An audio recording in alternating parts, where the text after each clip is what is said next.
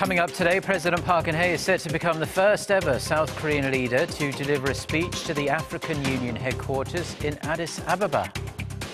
The government vetoes a recent controversial revision to the National Assembly Act that would allow more frequent parliamentary hearings. It says the revision could paralyse state affairs. First, Donald Trump has reached the number of delegates he needs to be confirmed as the Republican Party's presidential nominee. Stay tuned for these stories and more.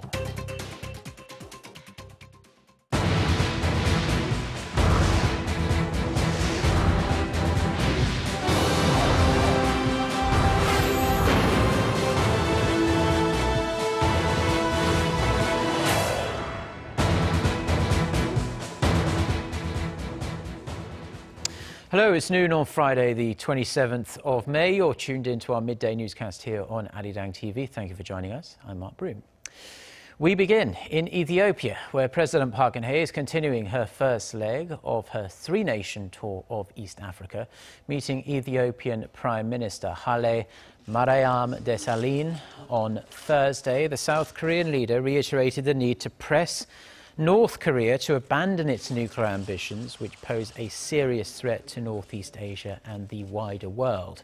In response, Ethiopia's Prime Minister said his country has always and will continue to support the denuclearization of the Korean Peninsula and help spread the initiative to other countries in Africa through its influence in the continent. He also pledged to sincerely fulfill UN Security Council sanctions on North Korea, saying Ethiopia always stands on the side of the South. And as well as discussing North Korea, the leaders of the two countries also vowed to boost their bilateral economic ties as a means of ensuring mutual growth in the future. For more details, our Song Ji-sun reports from Addis Ababa. President Park in Ethiopian Prime Minister Haile Mariam Desalegn set to deal dozens of deals on Thursday. Among the agreements is a planned textile complex covering 100 hectares or 1 square kilometer, expected to give Korean investors a competitive edge in production costs. Ethiopia has a strong textile industry with production costs that are about 30% of that in China. Korea's entry into the Ethiopian market will enable us to send exports to the US and the EU without tariffs. Seoul will take a greater role in Ethiopian infrastructure projects, especially in transportation, power generation, and urban development, while sharing its knowledge in high value added sectors like science and technology, energy, e government, and customs. Another highlight of the president's state visit is the launch of Korea Aid, a new official development aid program offering food, health, and cultural services on wheels. In our bid to support Africa's ability to achieve its Sustainable Development Goals for 2030, adopted at the UN last year, Seoul will launch Korea Aid, a comprehensive development project that covers healthcare, food and culture, leaving no area left behind. By taking an active role in supporting Ethiopia's growth and transformation plan, Seoul reinforced its comprehensive partnership with the African country for mutual growth, paving the way to enter the continent considered the last blue ocean in the world. Song Ji-sun, Arirang News, Addis Ababa. Now, later on this Friday, President Park Geun-hye will take another historic step to further strengthen Korea's strategic partnership with the African continent.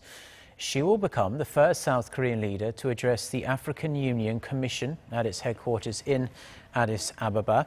There, she will lay out Seoul's new policy approach toward Africa, noting the massive untapped potential of the continent. Officials say her vision will be aimed at achieving mutual growth through economic cooperation and sustainable peace and security while expanding exchanges in culture and people. Before her speech, President Park will also sit down with the head of the African Union Commission to discuss ways to reaffirm their comprehensive partnership. We here at Arirang TV are going to be broadcasting the President's speech to the African Union live and in full with English translation to watch some uh, history unfold in front of your eyes. Tune in from 4.30 p.m. Korea time this afternoon. That's in around four and a half hours from now. Now, in other news, the Korean government has decided to pull the plug on a controversial revision to the National Assembly Act. It says that allowing more frequent parliamentary hearings would immobilise state affairs. The opposition parties have vowed to reintroduce it when the new assembly starts work next week. Our political correspondent Park Ji-won reports. At a cabinet meeting presided over by Prime Minister Hwang Kyo-won on Friday, the government decided to veto a controversial revision to the Parliamentary Act. The cabinet voiced concerns the bill is highly likely in breach of Korea's constitution as it allows the National Assembly excessive control of the executive. After the cabinet meeting, the Minister of Government Legislation explained the rationale behind the decision, reiterating that more frequent hearings would end up paralyzing state affairs. The revision gives Parliament new controls over the executive and the judiciary without having basis in the Constitution. The revision does not comply with the principles of the separation of power and checks and balances as laid out in the Constitution. The outgoing National Assembly Speaker and opposition party lawmakers argue that the revision would actually help Parliament more promptly deal with the social issues at hand. The main opposition Minjoo Party of Korea's floor leader Woo Sang-ho was highly critical of the government's decision, saying it violates the spirit of parliamentary democracy. The three opposition parties all strongly condemn the decision, and we agreed to jointly respond to the matter. We will seek a revote on the bill when the 20th National Assembly begins next week. The ruling Saenuri Party's floor leader Chung Jin-seok says there should not be a revote, arguing more in-depth legal interpretations of the process need to be undertaken. Park Ji-won, Arirang News. Now, amid the controversy, it's actually a special day for the National Assembly, which marked its 68th anniversary with a special ceremony this Friday morning. In attendance were the outgoing Assembly Speaker Chung Eui-hwa and the leaders of the ruling and opposition parties taking stage. However, as you can imagine, was the controversial revision of the National Assembly Act that was vetoed by the Cabinet uh, this morning. Uh, said submitting the Act for reconsideration is within the President's authority, but the Parliament's independence must also be respected. Two North Korean vessels crossed the northern limit line near Yeonpyeong-do Island in the West Sea at around 7.30 am Korea time this morning. Seoul's Defense Ministry says the patrol boat and fishing boat retreated northward from the maritime border after the South Korean Navy fired several uh, warning shots in their direction. The South Korean military has been put on alert given the heightened tension uh, on the peninsula at the moment. Officials say surveillance along the NLL has been beefed up and the military is keeping a keen eye on any unusual activities north of the border.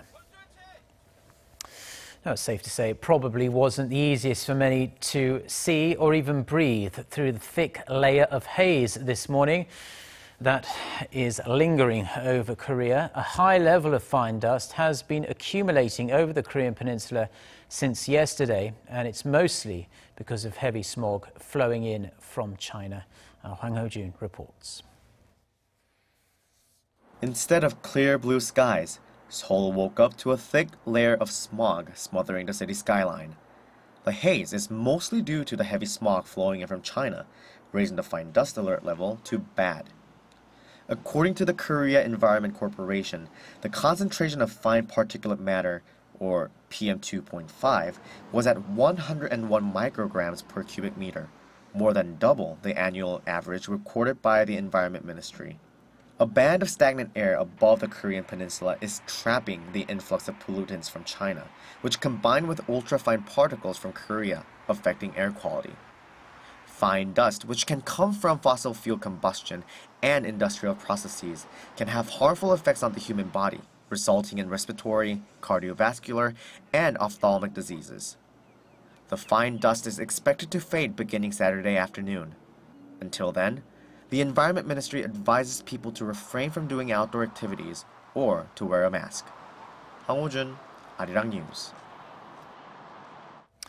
Now, leaders at the G7 summit have condemned North Korea in the strongest terms over its fourth nuclear test and long range missile launch early this year. In a joint statement released on Friday, the leaders urged Pyongyang to stop all provocative acts that pose a threat to regional peace and security. They also called on the North to respect all UN Security Council resolutions and the joint statement from the six party denuclearization talks in 2005. The statement calls for cooperation by members of the international community in implementing the UN sanctions on the Kim Jong un regime. It also expresses concerns about the North's human rights abuses and Japanese abductees, and also calls for an end to actions that uh, raise territorial tensions in the South China Sea. Now, once the G7 summit wraps up, US President Barack Obama is set to visit Hiroshima on Friday, with Japanese Prime Minister Shinzo Abe becoming the first sitting US president to do so. The White House says Obama plans to lay flowers at a memorial remembering the victims of the 1945 atomic bombing of the city. He will deliver a speech calling for a world without nuclear weapons and visit the Hiroshima Peace Memorial Museum. However, Obama has been making very clear that there will be no apology for the bombing. An estimated 140,000 people were killed in the atomic bombing, including 20,000 Koreans. It's now official. Donald Trump has seized the Republican Party's presidential nomination in the race for the White House, despite a slew of controversies and a number of abrasive remarks. Trump will go toe to toe with either Hillary Clinton or Bernie Sanders. Park Jong Hong has more. Republican presidential candidate Donald Trump has surpassed the number of delegates required to grab the party's nomination. The Associated Press reports that Trump now has the backing of 1,238 delegates, one more than the 1,237 needed. I'm so honored. I'm so honored to be in North Dakota and having hit that. I'm so honored by these people. They had such great sense. Over the past four months, Donald Trump has seen off 16 others seeking the nomination. Since early this month, he has been the GOP's presumptive presidential nominee when he won the primary in Indiana and his last remaining rivals dropped out. Now, the Republican convention set for mid-June will become the official stage giving the nomination to the billionaire businessman turned politician. There are five remaining primaries, including the states of California, Montana, and New Jersey. But with Trump the only candidate left, observers say they have no bearing on the outcome. In the November presidential election, Trump will face either former U.S. Secretary of State Hillary Clinton or Vermont Senator Bernie Sanders, who are still vying for the Democratic ticket. Park Jong-hong, Arirang News. Now, Korean households are choosing to refrain from making purchases as income growth is slowing. Statistics Korea says its index showing the average propensity to consume came in at 71.72.1% in the first three months of this year, down 0.3 percentage points from a year earlier. This essentially means that people spend about 72 US dollars out of a disposable income of $100. The figure marks the lowest level for the first quarter period since the related data was first compiled back in 2003. The record low number comes on the lower household income, which dropped 0.2% in the first quarter from the previous year. Uh, if we strip out inflation, the average monthly income of households in Korea in the first quarter stood at roughly 3,800 US dollars. Samsung Electronics is expected to file a countersuit against Huawei Technologies after the Chinese company sued Samsung over mobile patents. According to industry watchers in Korea, the Korean tech giant will take counteraction in the US court as early as July. It usually takes at least two months to review a complaint in patent infringement battles. This all comes after earlier this week, Huawei filed two suits against Samsung with a U.S. federal court in California and also in the Chinese city of Shenzhen, seeking financial compensation for an alleged unlicensed use of 4G technology. Industry watchers say the Samsung Huawei suit is likely to proceed pretty slowly and take a different course compared to an earlier and very well publicized battle between Samsung and Apple. Hyundai Motor was the best-selling brand in Australia in April on the back of strong sales of its compact cars.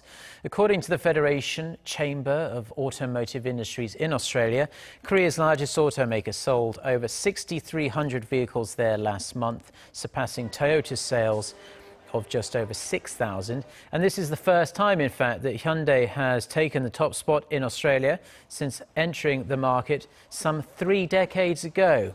The best-selling models were compact cars, including the i30 and the Accent. The automaker sold over 4,100 i30s and 1,500 Accents in April, up over 80% and 178% from the year before.